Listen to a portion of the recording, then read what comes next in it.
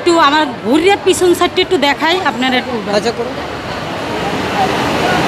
এই হচ্ছে আমার পিছন সাইড এবং এই হচ্ছে আমার সামন সাইড। আমি আজকে এগ- এগারো বছর পঙ্গু পঙ্গু জীবনে বড় বাস করতে আছি। কিন্তু আমার বাবা নাই আমার স্বামী নাই আমার একটা এতিম বাচ্চা নিয়ে আমি ওই রানাপুর বাজারে গেছি শুধু আমার বাচ্চাটা মানুষের মতো মানুষ করার জন্য। কিন্তু ওই হতাশা রানা প্লাজায় আমার জীবনটা পঙ্গু করে দিচ্ছে কিন্তু আজকে এগারো বছরে আমরা কোনো ক্ষতিপূরণ পাই নাই। কিন্তু বিজিএম থেকে ঘোষণা হয়েছে, আমাদের ক্ষতিপূরণ নাকি দিয়ে দিছে।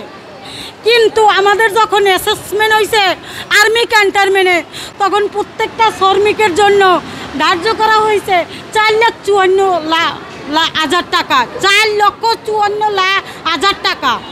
কিন্তু আমরা তার বিনিময়ে পাইছি আমার নারী বুড়ি বেরোয় গেছে। তার বিনিময়ে আমার ক্ষতিপূরণ আসছে শুধু চৌত্রিশ হাজার টাকা।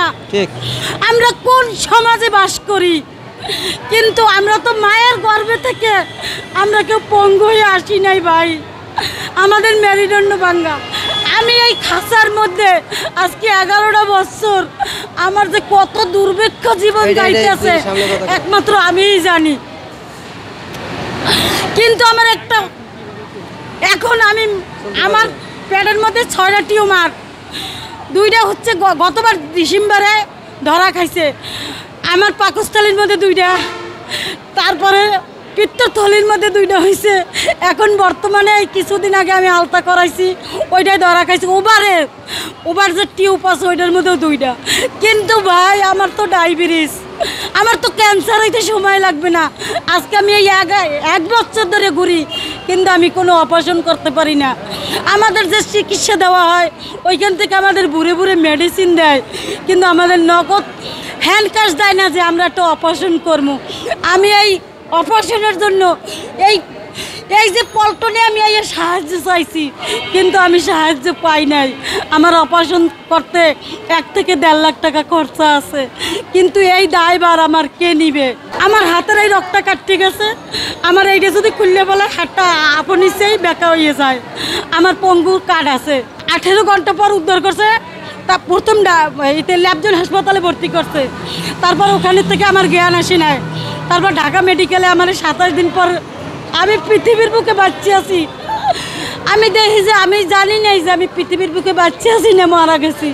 সাতাশ দিন পর আমার উৎস হয়েছে, তখন আমি আমার এতিম সন্তানের দেখার জন্য আমার বুকটার মধ্যে আকুল আবেদন হয়েছে যে আমার বাচ্চাটা কোথায়। তো এই অবস্থায় আদৌ পর্যন্ত আমরা এই জায়গায় দাঁড়াই রয়েছি। একটা মানুষ যদি খুন করে, তাকে যাবজ্জীবন কারাদণ্ড দেওয়া হয়। কিন্তু আমাদের এই রানা প্লাজারের রানা ওর কথায় হাজার হাজার শ্রমিক মারা গেছে। কিন্তু আদৌ পর্যন্ত তো আর কোনো বিচার হয় নাই।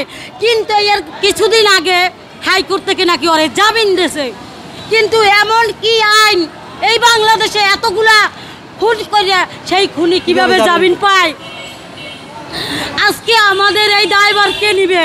কিন্তু কেন আমাদের এখন এই ভিক্ষার হাত? পথে পথে পথে ঘুরাই। আমরা রোদ না, বৃষ্টি না, তার মধ্যেও আমরা রাস্তায় নামি, শুধু আমাদের এই ক্ষতিপূরণ দিলে। আমরাও চাই বাঁচতে ভাই